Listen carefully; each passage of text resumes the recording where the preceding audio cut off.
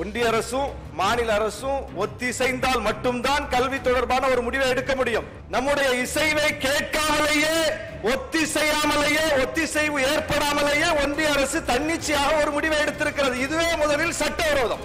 அவர்கள் ஏற்றுக்கொள்கிறார்கள் என்றால் நாம் மறுப்பதற்கு நமக்கு அதிகாரம் இருக்கிறது. அந்த சட்டத்தை எதிர்ப்பதற்கு அதிகாரம் இருக்கிறது. ஏதோ ஒன்றிய அரசு உச்சநீதிமன்றத்திற்கு மிகப்பெரிய மதிப்பு கொடுத்து உச்சநீதிமன்றம் சொன்னதெல்லாம் அப்படியே அடிபிசகாமல் பின்பற்றுவது போல ஒரு தோற்றத்தை ஏற்படுத்திக் கொண்டிருக்கிறார்கள். இது ஒரு தகுதி அறியும் தேர்வு என்று சொல்லி இதற்கு ஒரு முலாம் பூசிக் கொண்டிருந்தார்கள். இது தகுதியற்ற தேர்வு என்பதை இன்றைக்கு அன்றாடம் வரக்கூடிய செய்திகள் உணர்த்தி கொண்டிருக்கின்றன. மாண்புமிகு உறுப்பினர் முகமது ஷானவாஸ். மாண்புமிகு பேரவைத் தலைவர் அவர்களே இந்தியாவே ஏற்றுக்கொண்டு விட்டது தமிழ்நாடு ஏன் எதிர்க்கிறது?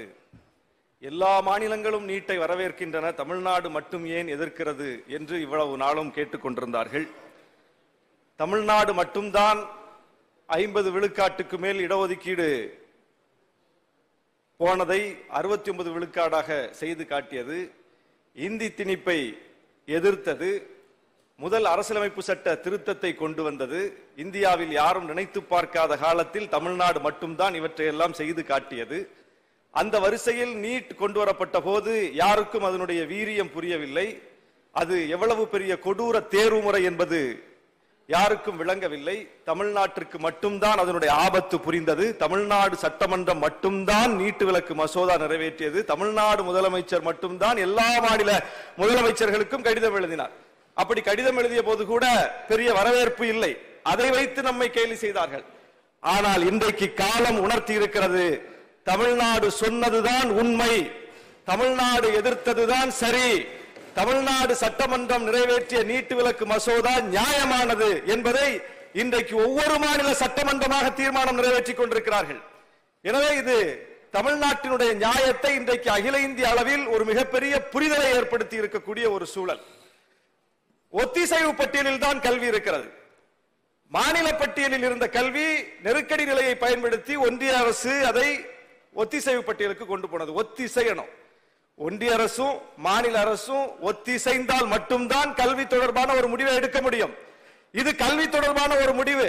நம்முடைய இசைவை கேட்காமலேயே ஒத்திசையாமலேயே ஒத்திசைவு ஏற்படாமலேயே ஒன்றிய அரசு தன்னிச்சையாக ஒரு முடிவை எடுத்திருக்கிறது. இதுவே முதலில் சட்டவிரோதம் இது அரசியலமைப்பு சட்டத்துக்கு எதிரானது. உச்சநீதிமன்றம் பல வழக்குகளில் தெளிவுபடுத்தி இருக்கிறது நாடாளுமன்றத்திற்கும் சட்டமன்றத்திற்கும் சம அதிகாரம் இருக்கு. நாடாளுமன்றத்தில் ஒரு சட்டத்தை இயற்றுவதற்கு அதிகாரம் இருக்கிறது என்றால் சட்டமன்றத்திற்கு அந்த சட்டத்தை எதிர்ப்பதற்கு அதிகாரம் இருக்கிறது.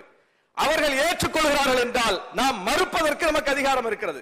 நாடாளுமன்றத்தில் நீட் வேண்டும் என்று சொல்லிவிட்டார்கள். சட்டமன்றத்தில் நீட் வேண்டாம் என்று சொல்லிவிட்டோம். நாடாளுமன்றம் சொன்னது சரி என்றால் அதற்கு அதிகாரம் இருக்கிறது என்றால் சட்டமன்றத்தில் வேண்டாம் என்று சொல்லி இருக்கிறோமே இதற்கும் அதிகாரம் இருக்கிறது.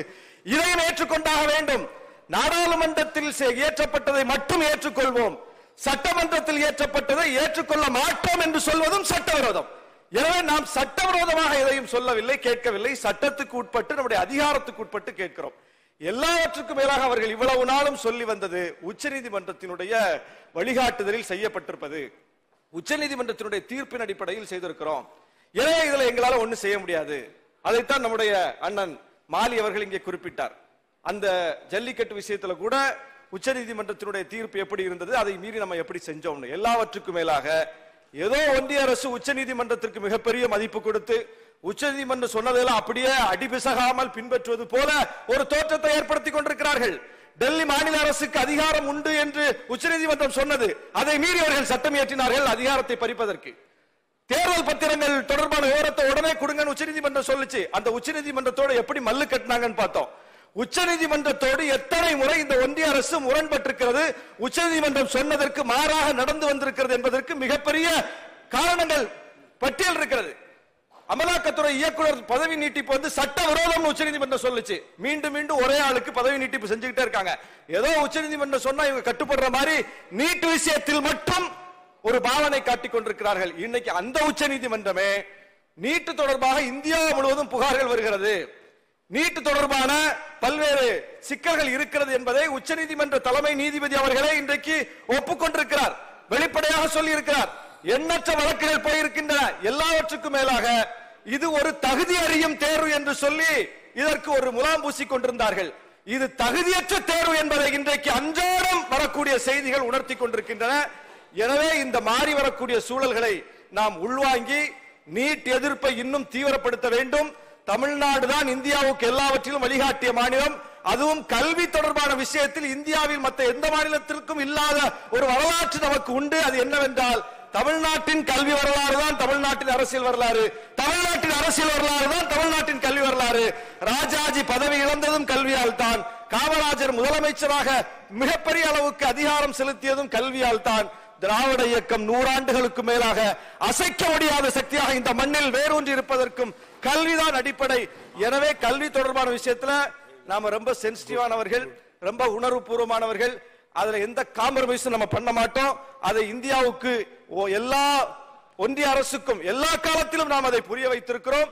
இன்றைக்கு நம்முடைய அந்த குரலை ஒவ்வொரு மாநிலமாக பின்பற்ற தொடங்கி இருக்கிற இந்த சூழலில் மீண்டும் இந்த சட்டமன்றத்தில் இன்றைக்கு நம்முடைய மாண்புமிகு முதலமைச்சர் அவர்கள் நீட்டு தொடர்பாக கொண்டு வந்திருக்கிற இந்த தீர்மானத்தை விடுதலை சிறுத்தைகள் கட்சியின் சார்பில் வரவேற்று இந்த அரசுக்கு இது போன்ற விஷயங்களில் எப்போதும் நாங்கள் துணையாக நிற்போம் என்று சொல்லி விடைபெறுகிறேன். நன்றி வணக்கம்.